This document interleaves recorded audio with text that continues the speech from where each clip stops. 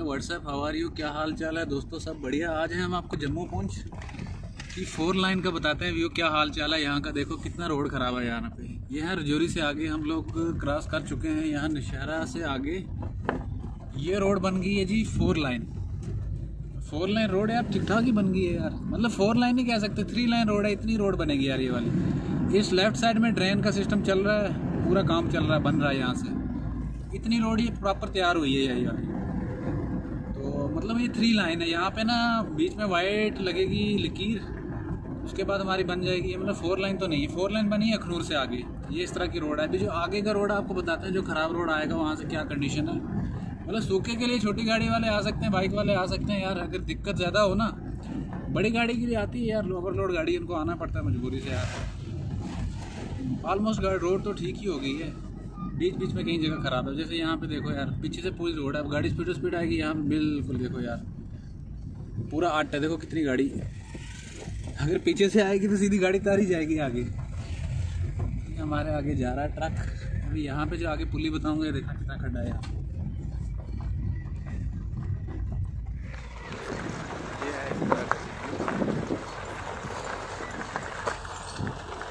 ये काम चल रही है यहाँ पे रोड का पूरे। पीछे से गाड़ियाँ आ रही हैं। कोई लिंक रोड गई हुई है यहाँ से। पूरा मतलब ना यहाँ से गाड़ियाँ आ रही हैं, जा रही हैं। देखो आटा है। अल्टो वाले भाई साहब, गाड़ी तो टच कर ही दी भाई ने।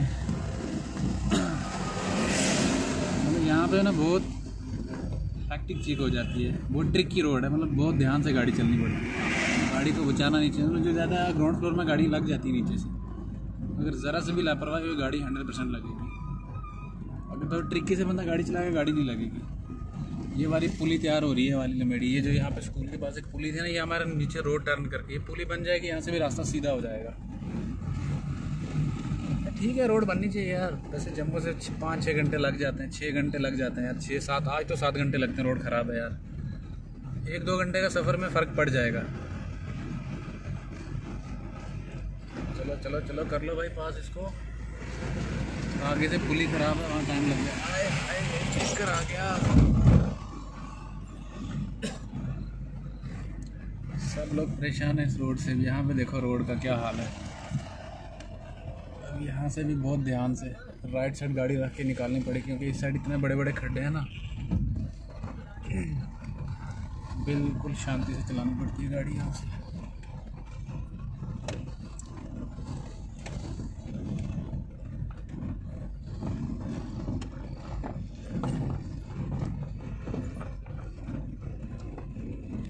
बीच में थोड़े थोड़े कट हैं यार बाकी तो ठीक है जैसे रोड है। ये वाली ओल्ड रोड है नई वाली नहीं है।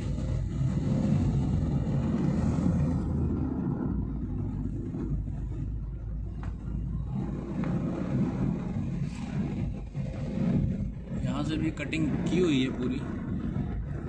बन जाएगी। अब यहाँ से नैरो रोड आ जाती है। जैसे पीछे से खुली है आगे से नैरो नैरो होगी तंग। यहाँ से पुली बन रही है। देखिए राइट साइड में घुमा रहा हूँ आप देख लीजिए। जो जो हम देखते हैं, हम बताते हैं यार वही वाला। अब यहाँ से भी थोड़ी सी ख़राब है आगे से शायद। काम चल रहा है। ये हम बगनोटी वाले एरिया से आ रहे हैं।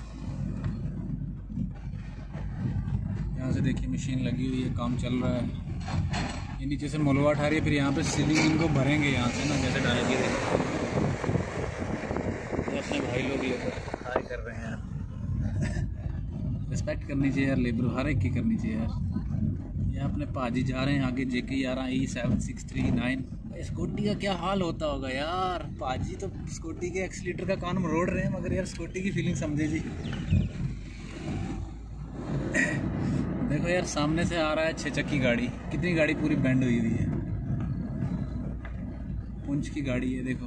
पीछे वाली गाड़ी देखो कैसे टर्न हो रही चढ़ रही है, कितना गाड़ी पूरा टर्न टर्न मार रही है ऐसे वाले है देखो खड्डा भी कितना है यार? यहाँ से मतलब ना बहुत ध्यान से, क्या करेगी यार गाड़ी? गाड़ी का तोड़ने का भी खतरा है मतलब बहुत इश्यू होता है। अब कोई गाड़ी आगे से छोटी आ गई तो ट्रक वाले ने मारी ब्रेक। अभी यहाँ से थोड़ा सा है मतलब नैरो वगैरह सिस्टम चल रहा है यहाँ से। खुला कर रहे हैं।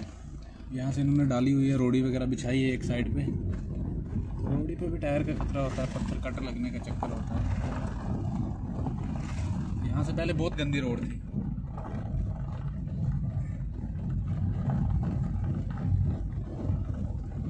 ये जो सामने दिख रहा है यहाँ पे ना, अभी ने बजरा डाला, इसको बिछाया। देखो, ये बजरा जैसे इसको बिठाया नहीं है ना, रोलर से बिठाया जाता है। बट इसको बिठाया नहीं, रोड़ी इधर उधर होगी इस पर गाड़ी स्लिप मारती है। स्लिप इधर उधर टायर को पत्थर लगने का खतरा होता है ना। ये वाली पुली इतनी गंदी पुली थी ना, वो मत पूछो यार इस पुली का हाल। सिंगल पुली थी, अब इन्होंने ये ठीक हो गई रोड इतनी खुली रहेगी। यहाँ से गाड़ी इतनी मुश्किल से निकलती थी ना, यहाँ रोड हो गई ख़त्म, ठीक हो गई, आगे से ये आगे इतनी लाइन बन गई है। आगे वाली पुली देखो कितनी गंदी पुली है, सिंगल।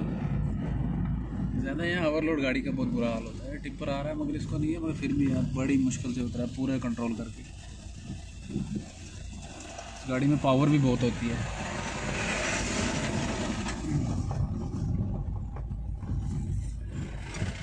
ट्रकर्स की रिस्पेक्ट करनी चाहिए यार। बड़ी मेहनत करते हैं यार, दिन रात चलते रहते हैं यार।